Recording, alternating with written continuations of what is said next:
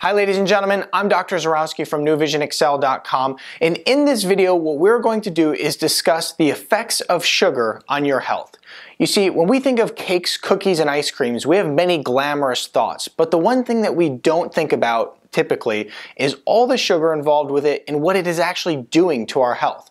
So in this video what we're going to do is we're going to uncover why sugar is so addictive, why it's found in nearly everything we eat, and then what it does to our health long term. And then lastly, at the end of this video, what I'm gonna do is give you some alternative sweeteners that will not destroy your health like sugar does. It is estimated that the average American consumes over 130 pounds of sugar per year. This is estimated to be 26 times more sugar than what was consumed by people 100 years ago. Now you're probably thinking to yourself, well, that's not me. I don't do that. But you're also probably thinking of taking, you know, scoops out of the sugar bowl and putting it into your food. And the fact is is that you don't have to be, you know, actually doing that to go and consume that much sugar because it's estimated that over 74% of packaged food contain sugar. So when you're eating granola bars, cereals, um, yogurts, things that you even may perceive to be healthy, such as canned tomatoes, or even you know little packages of salt that you might find at a restaurant, in many cases contain sugar as well.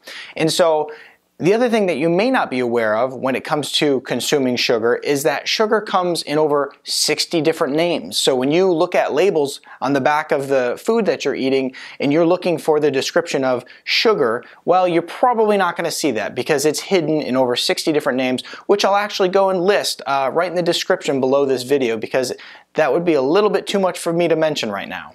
So what's with all this sugar anyway? Well, one might argue that all the sugar's in food just to get you addicted to it. Because what happens is when you consume sugar, it stimulates an area of the brain called the cerebral cortex. From there, the reward system is activated. When you consume sugar, the reward system in the brain is activated in the same way that it would be activated through drugs, sex, or alcohol. And so when you consume the sugar, the reward system activates and then a feel-good chemical is released and it's called dopamine. When this dopamine is released, what it will do is give you a quick high and it'll also leave you craving more. So when one comes off sugar, what happens is that they'll have withdrawal symptoms just like someone who may be coming off of a bad habit such as drugs. And so you might find yourself having headaches, fatigue, uh, drowsiness, um, just being very irritable. So these are all different symptoms that you can have for coming off of sugar. But the good news is, is it only lasts a very short time. It's estimated that anybody can come off of these cravings within a three day period. Now, when we look at this mass overconsumption of sugar, it has some very terrible effects on our health. You know, it's not only is it considered to be the new smoking of the 21st century, but it also is involved in so many different diseases. When we look at things such as heart disease and cancer and uh, diabetes through insulin resistance. I mean, they're all related to sugar. In you know, in 1980, they looked at you know how many kids had diabetes, and it was virtually almost zero. And then when we look at uh, kids who have diabetes today, it's estimated that over 57,000 children have diabetes, and that's why they got away from calling it adult onset diabetes because it's onsetting in so many children.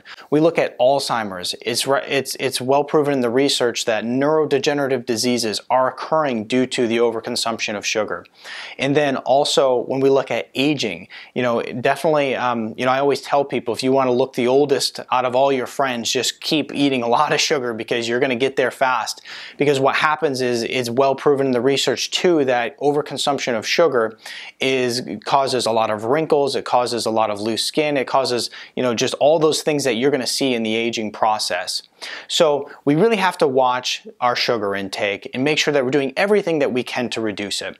Now, I, I told you at the beginning of this video, I was going to give you a couple different options that you can actually start using for sweeteners that are not going to spike your uh, insulin levels or your blood glucose levels, but it'll give you that that almost that that nice sweet taste that you might actually crave here and there, especially when you're going off of sugar, when you're removing that from your diet. And so the first that is a really great substitute is going to be xylitol. Second is going to be stevia, and then third you can also use erythritol.